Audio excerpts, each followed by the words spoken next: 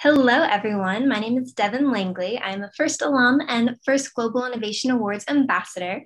And I am so excited to be here with the Robotillers from Bedford, Indiana, who were the 2021 Indiana Global Innovation Awards nominee for the replay season. A few weeks ago, they learned they were selected as one of 20 First Lego League Challenge finalist teams who will participate in final judging, innovation focused workshops, and an award ceremony where a winner and two runners up will be chosen. So, hello, Robotillers. I am so happy to be able to catch up with you today. And of course, on behalf of the Finn community, congratulations on this wonderful achievement. We're all so proud of you. Yes. So this season, we were given you were given the task to identify a problem related to fitness.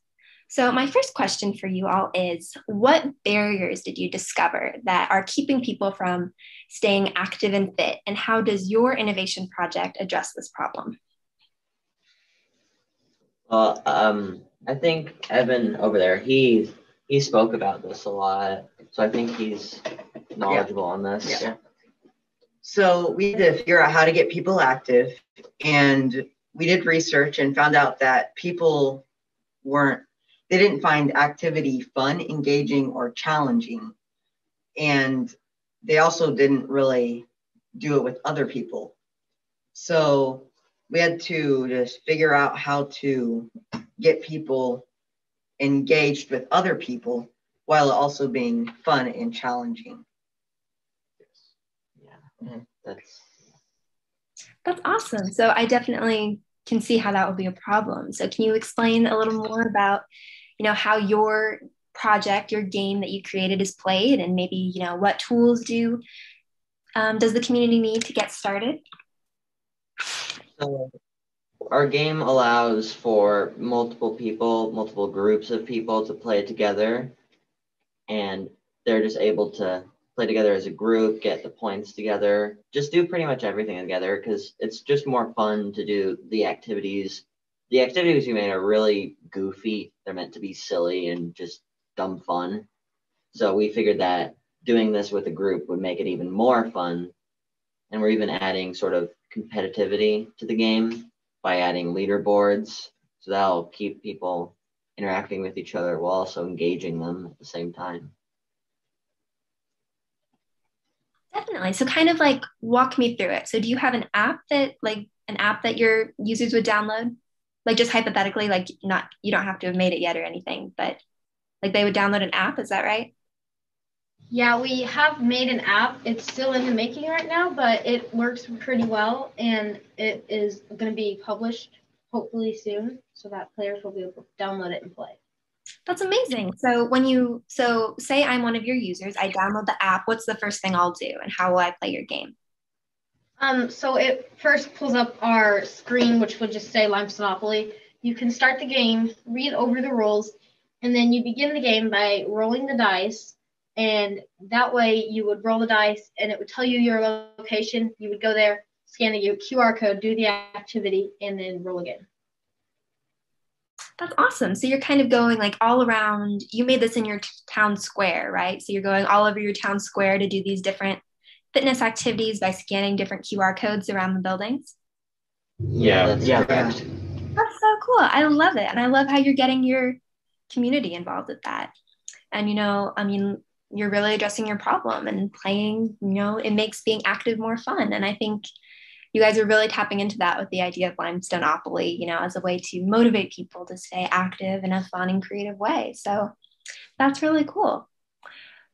So yeah, so I'm sure our Finn listeners know that First has joined forces with Disney and Lucasfilm again this season. And I heard you may have had some recent interactions with a Disney Imagineer. So, can you tell us what that experience was like for you guys? Yeah, so oh, It's fine. okay. You can go. All right, so yeah, we actually we, that is true. We did talk with a Disney Imagineer. We were on a Zoom call just like this, and we showed him our pitch, our idea pitch, and our little presentation, just to show him what ideas or what our ideas were. And he really liked it. He thought it was funny. We had a little skit to do and he liked that. He laughed at one part he felt he fell over and that was funny for everyone. Yeah. And it was just a fun presentation. He gave us some really he actually gave us some really good ideas on promoting and keeping our users engaged, which I'm not sure if I'm supposed to detail, but if if I am, then I will. I think it's Good. Whatever you're comfortable with, you can share whatever you want. He uh, told us that starting an Instagram account would be a good idea because a lot of people use it, and there's a lot of people who are younger that use Instagram. So like younger generation can see it and stuff. And he also gave us the idea of making badges for our game to like motivate the user and keep them engaged in it. Yeah. And the main reason we chose, or he chose Instagram, was this little feature. It's called Reels, which is basically a really short video that can appear on your feed. And it's just a little showcase. And he said that we could use that to showcase our game and just appeal to more people and reach out to people who may see it in their feed. Yes. That's awesome. Well, it sounds like you got some really cool marketing tips, and just in general, that sounds like a really cool experience. And I mean, that's sounds like a pretty you know awesome job to be a Disney Imagineer. Like that's so cool. Um, but did you have any have the opportunity to share your project idea with any other experts as you developed your solution? And did you receive any other advice that helped you to improve your design? Andy, would you like to answer that? Okay. We met with a lot of business owners along the square, and they gave some really good advice on how to get the idea out there and how to continue making this game. And we also got a bunch of marketing advice from mentors and a company that we managed to meet with, and that was nice. Yeah, we met with a manufacturer from a straw company, and they sell straws. And we also met for, with another manufacturer who's based in Columbus. And the straw company also happens to be one of the actually the top selling straw company on Amazon. So that was pretty cool that we got to interview with them and they got to give us some actually pretty good advice. That's awesome. What did you kind of learn from those experiences consulting those experts? They taught us a lot about how um like selling things on Amazon works. Like you have to uh, bid for a certain spot whenever like on searches. So if somebody searches straws, you have it. like you would have to bid to get the top spot up there. We also talked, talked to our distributors. They told us about um, price margins, which would like if you needed like 30% to sell it and stuff like that. They talked about the pricing and selling.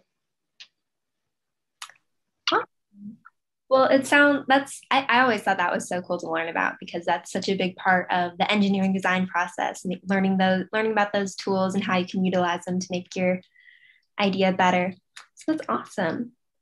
So since you have basically transformed, you know, your town square into a giant game board, can you talk a bit about how, you know, your community has supported your project?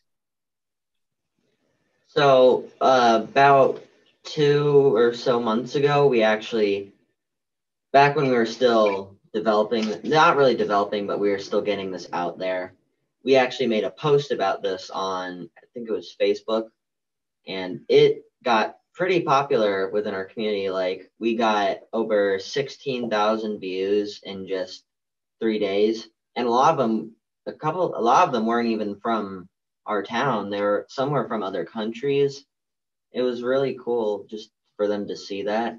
And we got a lot of positive support from people from our community who actually saw it. And they were all pretty big advocates for it. That's that is so cool. That's some that's some widespread impact right there. Um, but have you invited others to actually play Limestoneopoly? And if so, did those participants share any helpful feedback for you all? Yeah, we had a very large testing group a couple months ago that we did. Um, it had about like 30 people in it, and we all went and played Limestone Monopoly. And then afterwards, we went and interviewed each of the people about like questions about our game. And also, just this weekend, we went um, to a little festival thing at a school, and Evan can talk about that and what we did there. He wasn't there. Yeah, that's my bad. Andy can do it. Yeah, Andy can do it. Okay, so a lot of us invited our family members and a lot of other people that we just knew that might be interested in this like kind of idea. And all of them shared very positive feedback. Yeah, and at that little festival thing that he just talked about, it was a festival mostly for people who wanted to sell their own little products, but we actually got a lot of people to walk by our booth. We set up a little demo version of our game. We used posters with the same codes, and we developed a special version of the app to run with it. And we got a bunch of people just to see what the game was and just the basic idea of it. And a lot of people were interested. They gave us really positive feedback. I think it was around high 80s that would say they would buy the game high 80 not 80s as in 80 people but like 80% of somewhere around the 80s of percent of people said that they would buy the game from our interviews which is a pretty high percentage given the amount of people that are there Yeah. That's incredible. Sorry, go ahead. Were you going to say something else? me Um, or him or I, I who else wasn't going to. oh well i think yeah i, don't, I think we're ready for the next thing well, that's so cool. Over over 80% is a very high number, and that's really impressive. So congratulations on that. Um, Yeah.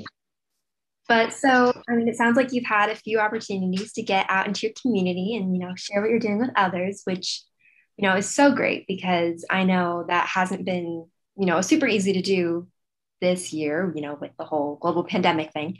Um, but when you do meet other kids or parents who have not discovered FIRST Robotics yet, what do you tell them to encourage them to get involved? So, you know, in other words, what do you love most about FIRST?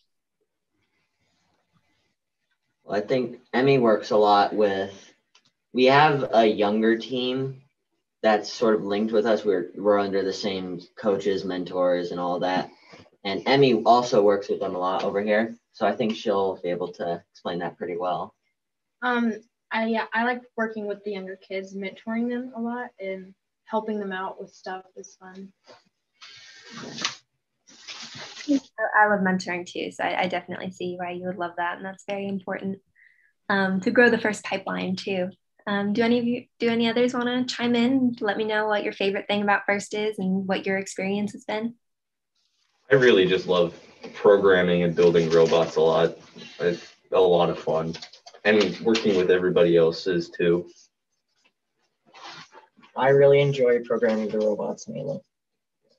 And just like he said, I really like just meeting with meeting with all these all these nerds like us that we can just share our ideas over, fawn over them, get the same sort of ideas in our heads. It's just really fun to find that similar group. And I think that's really what robotics is really strong in. Yeah. I also really like hanging out with all of them. And I also like building robots. Definitely. You know, first is like a family. It's kind of cheesy, but I feel like it's true. That that community that you're all talking about is really valuable. And I think our core values really help make that even better. So it's definitely an incredible, an incredible program. But you know, your your enthusiasm for what you do really helps us grow first programs. And by sharing your story, we know um, that more young people are going to really take an interest in First Lego League Challenge and, you know, become the awesome problem solvers that you all are. So thank you for that. So next, so as we prepare for the next stage of the Global Innovation Awards, I know teams focus more on more more attention on the potential for implementation. So have you thought about what the next steps would be to get your game in the hands of others who could benefit from your idea? So yeah, we are actually before global innovation, our town or our game was primarily based on our town square, like we mentioned. But after we, a short while after global innovation, we realized this is gonna this town square game is going to be really difficult to scale worldwide like other places with really small communities other places that don't even have squares it's going to be difficult and it some it's just going to be difficult to get this place to them it doesn't matter really how big the community is so we decided that we could remake this sort of as a retail product so right here is this version of this box this is our limestoneopoly retail and it's in a box. And instead of codes on buildings, it'll contain, you can't, I'll stretch them out here. It'll contain these QR cards. Yeah, and there's the box right there. So these basically work the same as the codes on the square. But what they do is the user who buys this game, it contains around 45, 44-ish QR cards and instead of having them already set up around their area, they actually set them up themselves. They register them within our app. And it's sort of, you can write down on them. You can say, oh, this one, this card's for the kitchen, hanging up in the kitchen. This one's for the, this is for mom's bedroom. You can write it hanging up on mom's bedroom. And it's sort of your own house board game that you can, it's really customizable. And we're even, where's the, there was a box for there it is. We're even adding little booster packs. It's all right. We're even adding little booster packs, which we've called pebble packs to fit with the stone theme. There's the box right there. This one's space theme. Yeah, that yeah. one's that one's around space. We have a bunch of different planets and other space little themed icons, and we're gonna have other themes like history, monuments, other things that are just gonna keep this game fresh and it's I think this is going to be able to, if we work at it, this will be able to reach a wide audience of people who want to play this game and get fit. Just keep active, have fun while doing it, be silly in a group. It'll be able to reach that audience with this retail version. That's so cool. So now I really can see like how those manufacturing experts you were talking to must have been really helpful for this stage of your idea. So I love that. That's so creative. And I'm glad you were able to, I think that's so cool that you recognized, you know, the path you need to take in order to expand and impact a larger community. So that's that's really high level stuff. Good job, guys. Yeah. So yeah, so well, we will certainly be watching, you know, with great anticipation to see what you all do next. And I would love to see, you know, those games on the shelves. Like I definitely my family loves working out, so I'm sure we would we would be that's something we would purchase. So, um, but yeah, we're so excited for you. We're going to be rooting you on. Um, so now I have one final question that I would like to direct towards your coach, Mr. Chase. Um, hello. Um, so you definitely have a truly impressive group of students here with you today. Um, my question for you, real quick, is what core value do you think that your team best exemplifies that you know allows them to work so well together and accomplish so much? Because clearly they do a lot. So, yeah, if I if I could only pick one core value, I would say fun, and we actually call that FUM, F U M, uh, because that's a uh, it's a tradition in our club uh, because of um, we, there was a child we had one time, a, a student who uh, wrote it in cursive at the end, and and it kind of caught on. And so for the last several years, uh, we call that core value FUM. But but it's it's too bad you only let me choose one because uh, we do like a lot of different core value challenges we call them, and we go out into a lot of different counties and a lot of different places to do a lot. I think they uh, this team and a couple a couple of the other teams we have really uh, give a lot back to the community, and I think they use a lot of the core values not only at the meetings but also in everyday life. You know, so um, but I would have to go with FUM is my one choice. Well, I love that. That's so That's so important. I can see, like, just from talking to them today, how clearly they exemplify all the core values. I love how you were making sure, you know, everybody was talking. Um, I think that's something that's might seem kind of small, but really has a big impact. So I was very, very impressed with all of you. Um, and I just, I really enjoyed chatting with you all too. And I really appreciate that you took a break from your preparations so that our Finn family could learn more about your amazing project, Limestone Limestoneopoly. So the Global Innovation Awards ceremony will be held remotely on June 30th at 2.30 p.m. Eastern Time on First TV. So please, FinFam, mark your calendars and plan to tune in so that you can cheer on these creative young innovators as they represent Indiana. So good luck, Robotillers. Again, we are so proud of you and your you're amazing. Thank you for being here with us today. One last thing we'd like to say before we go is if earlier you said that you'd be you'd be watching uh, you'd be hoping to see our progress. We actually have been posting our progress on our social medias, our Facebooks, our Instagrams, our Twitters. They go under uh, the name of Superior Steam or sometimes Steam Superior. That's our Facebook one. And our Instagram. And our Instagram, yeah. Those are the names of our social medias. And we even have a website, superiorsteam.org. So that also hosts some interesting developments on our game. So if anyone's interested in seeing that, seeing the development of our game, you can go there.